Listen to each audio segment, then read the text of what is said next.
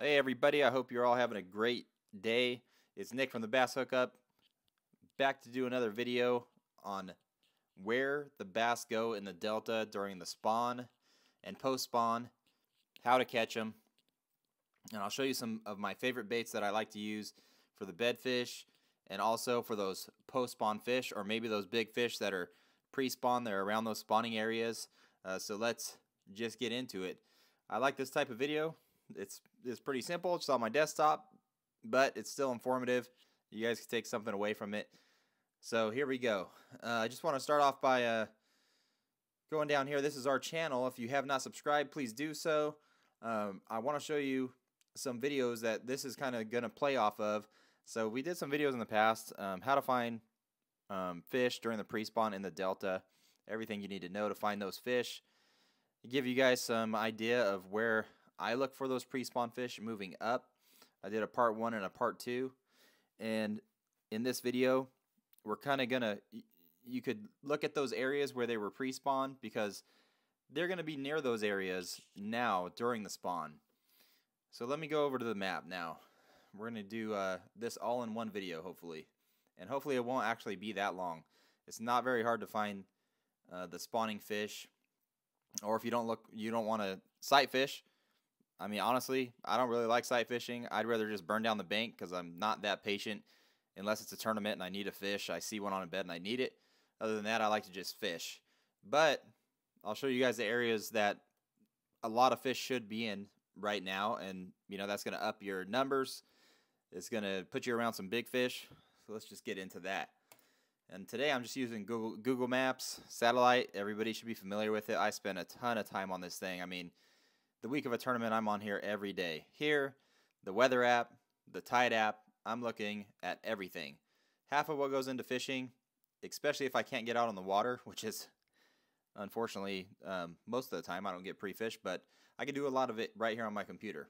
I could look at areas, I could look at the tides, I can look at what the weather is going to be like. We'll talk about kind of all those things today in this video as it relates to spawning bass in the delta and and the uh, post spawn bass. So where they go after. It's going to be pretty quick. It's simple. I look at the weather, like I said, all the time. Most fishermen do. So I'm looking at the weather almost every day. And I've been on the Delta in a few tournaments, and um, the weather seems to, to be pretty steady. The wind is what I look at, and it's been blowing out of the west, northwest almost all the time. We might get a day where it blows out of the south, maybe a day blows straight out of the north, but for the most part, it's blowing about this direction. Northwest. It's coming straight out of the northwest, blowing this direction. What that tells me immediately when I'm looking at this map is the spawning fish, they need to go somewhere where it's calm out of the wind, protected. They need somewhere where they could lay those eggs and they don't get all stirred up by two foot whitecaps, um, you know, rollers rolling into them and all that sort of stuff. So if I know this year the wind's been blowing out of the northwest pretty much all the time, changes every year. That's why I look at the at the uh, weather app all the time because every year it could change. Next year it might always be blowing out of the south, and all the beds are going to be on these banks on the southern banks where the wind's blowing over them. It's always protected. This year, though, blowing out of northwest, you're going to look for pretty much any flat bank, a flat bank with cover, tules. It could even be a rock bank that has clean hydrilla, um, primrose, hyacinth pushed up against it. And the cover is key. The bass want to lay their eggs where after those baby bass hatch, they become fry. That right when they hatch, they could hide. It's it's just built in. They're gonna lay them where those where they feel like their babies are gonna be protected. So, you know, they're gonna lay them. Um, best spots is you have a big mat of primrose, you have tules, some hydrilla mixed in, and there's a lane. Let's say there's just a lane. You know, from here into these tules all the way into this hard shoreline they're going to lay them all around the edges of these tules. Um, on the sparse tules, most likely they're not going to lay them right out here in the middle, although it happens for sure. Um, the majority of them are going to lay them right next to that cover. So again, when those fry spawn or when they uh, hatch, they just move right up, and you guys will see them when this post spawn, and I'm sure you've seen them. There'll be a school of them just right on the edge of the primrose or the hyacinth, and they're up there because they're hiding. They're trying to survive. So it's easy. Again, looking for these spawning bass or areas that most of the bass are going to be in right now. This year, look on these like northern, northwest banks. These banks over here are going to be the protected ones, and that's where those fish are going to feel comfortable to move up and spawn. And of course, all the marinas are good. Any marina, again, if they're in the marina, they're probably going to be on that protected side, the northwest side. Um, in these big flooded islands like Frank's Tract, northwest side, Big Break, same thing. You know, it gets pretty rough out there. Um, all the marinas, any marinas, especially these, because you know these marinas are protected just in of themselves because you know all the berths and things like that, but they're also on the west bank, so they're super protected.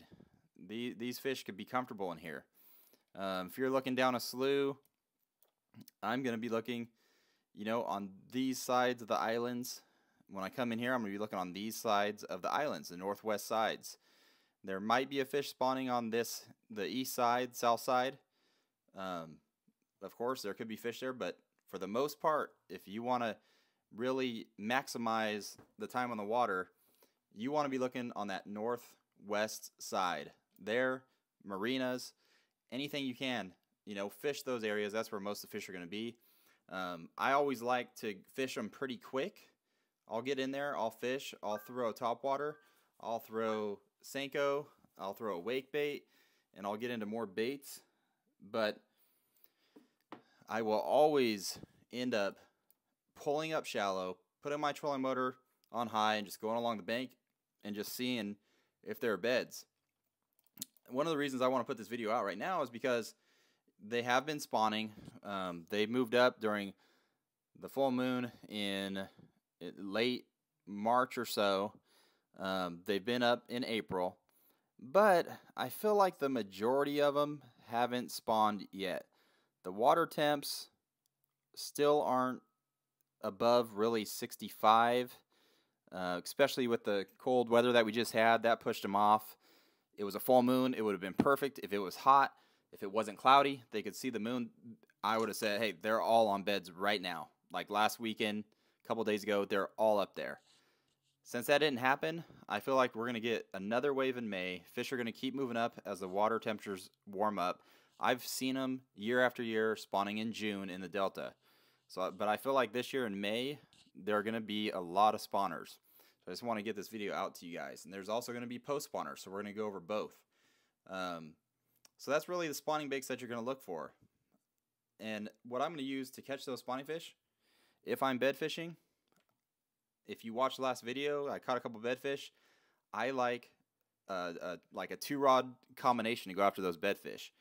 I like one with a uh, Ned rig, or I was using a Z-Man hula stick, just like this, a small bait, and I was throwing it on this Z-Man Power Finesse shroom head and I was throwing it on the heavier shroom head so I could shake it and it won't move through that bed too much. I could shake it and get that fish's attention.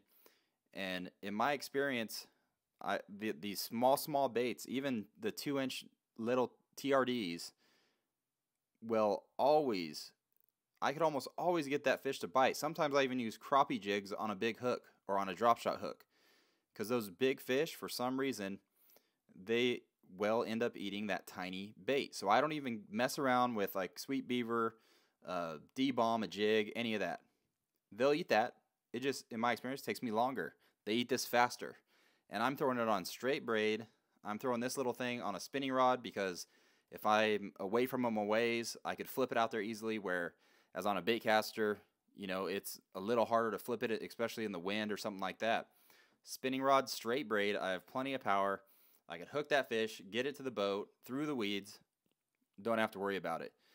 But what I fire those fish up with, and a lot of times they'll eat it, is a big bait. That's my two rod combo. Spinning rod, something tiny. You could choose what you like. TRD, you know, whatever you like, something small. And I use a hook beefy enough like this where I don't have to worry about it bending out in straight braid. But the first thing I throw in there is a glide bait. And I like throwing glide baits compared to like a Huddleston, um, like a soft plastic. I was throwing this exact bait, this Deps slide swimmer 175 glide bait in this color, the golden shiner color. I don't know what it is. I've caught a ton of fish on that bait. Um, they're really hard to get. You don't need it. What I like about it is this bait sinks fairly quickly, so it gets down. Like if I flip it out on that bed, it drops straight down onto the bed, and it sits there. So when the hooks hit the bottom, it just sits upright. And I'm going to show you guys some underwater footage also in this video of a bedfish coming after this bait, and it just sits upright. And I can sit there and twitch it, and it flashes in its bed. It either eats it or gets mad enough to where I can pull that out, take my little finesse worm, throw it in there, wham. Usually only takes, you know, five minutes to catch a bedfish. It's simple. Just not a lot of baits, two baits. I could almost guarantee if you had these two baits on any bedfish that was locked on, okay, or pretty close to being locked on, you're going to catch it. So that's my two baits for the bedfish. Now, if I'm just searching around again, I'm just I'm going to throw something like this. Not a lot of guys throw it in the delta. I love this bait in the delta. Usually when I get bit on it, it's a it's a solid fish. A lot of five pounders on this bait, five, six, seven pounders. And I just don't think they see it and they absolutely crush it. Something like this. Just a double prop bait, and you're throwing it out there, you're moving along the bank.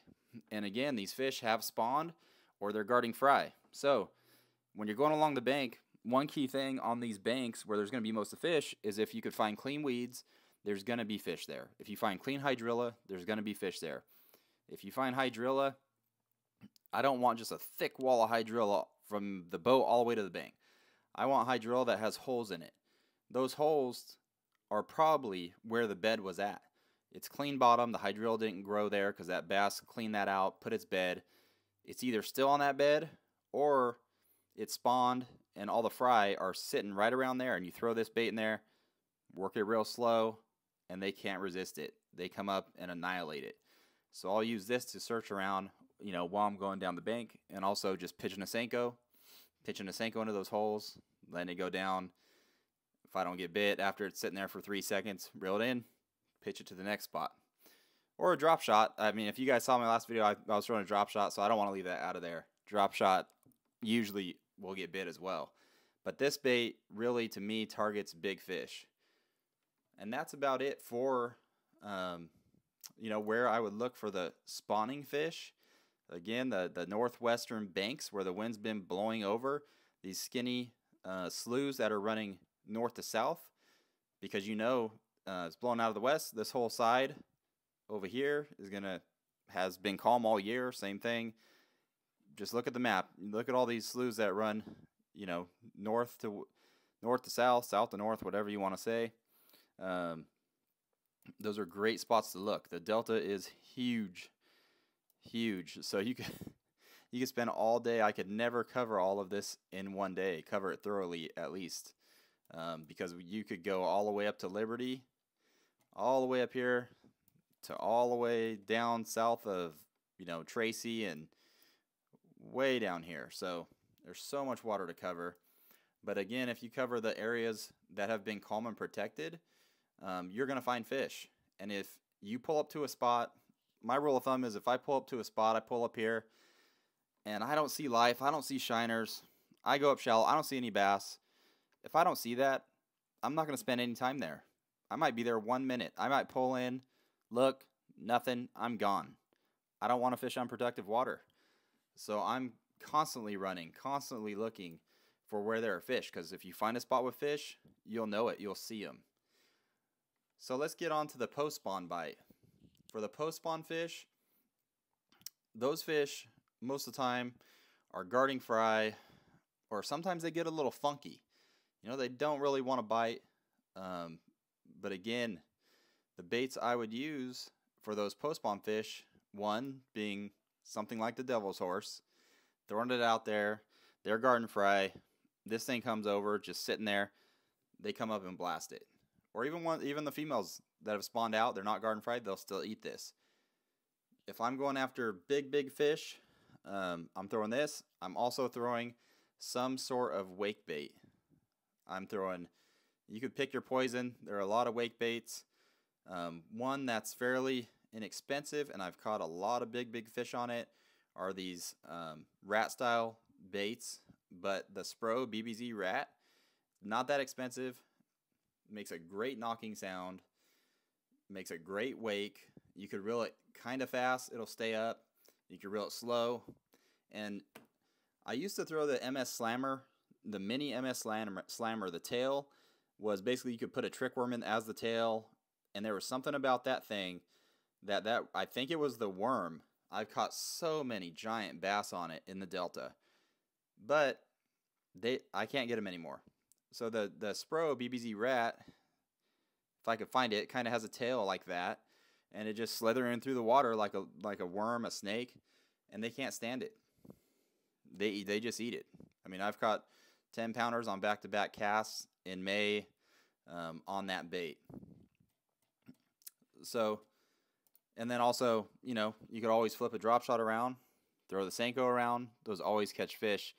But the devil's horse type of bait, wake bait during the post spawn are great baits. You know, to know to even just to throw to know if you're around the fish because if you're around where the fish spawned, they'll be fry.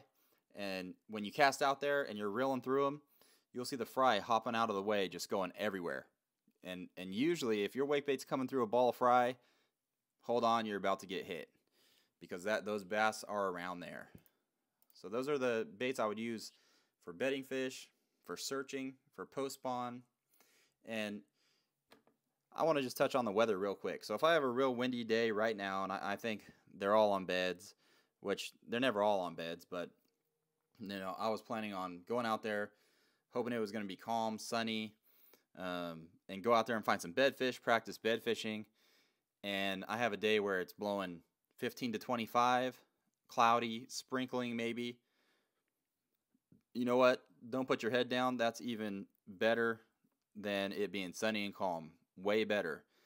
Just go along these banks like I'm talking about that are protected. You know those bass have been spawning. And on that type of day, you know I'm throwing basically if it's if it's raining right now, tomorrow it's raining, I'm going out, I'm putting a wake bait in my hand and I'm tossing that wake bait almost the entire time on those calmer banks. I'm going to toss that wake bait, wake bait almost the whole time. Uh, maybe the devil's horse here and there, but those two baits will get you big, big fish. And a lot of the time, you know, you think you could finesse a big fish into biting. You know, there's a bank where there's big fish, and, and guys go there and they try to finesse them up in the morning. But in my experience, usually it doesn't work. You might get one, but if you go there with a big bait, those fish can't stand the big bait. They either got to follow it and because they're curious creatures or they're going to come up on those nasty weather days, they're going to come up and just eat it. So if you guys are looking for a big fish right now, that's what I'd be doing. So we're going to go um, look at some underwater footage, and uh, I'll talk to you guys about you know how I got this bass into biting with those two baits that I was talking about. So let's go. All right, guys, I find this fish. Uh, put the camera down there. This fish wasn't really locked on the bed there was a couple fish cruising around, um, and I start out with that Deps 175 like I've been talking about, just to bring that fish's attention back to the bed. If you throw a small bait out there, most of the time it's not even going to pay attention to it. It's not intrusive enough. But with these big baits, they just don't like that bigger thing being around their bed, thinking it's another smaller bass or something, bait, uh, bluegill, whatever it may be, coming onto their bed, eating their eggs, and messing around with them. So it draws their attention in, it gets them fired up, and it gets them really paying attention to that bed. So once you're able to do that, like this fish, it keeps coming, looking at it, turning around, coming back. So I throw this bait in there a few times, about three times. I pick it up and I go to the smaller bait, the one two combo. So I throw the big bait first, I go to that smaller hula stick, throw that in there, work it over the bed, and right away, the fish is nowhere to be seen. It comes out of the toolies and boom.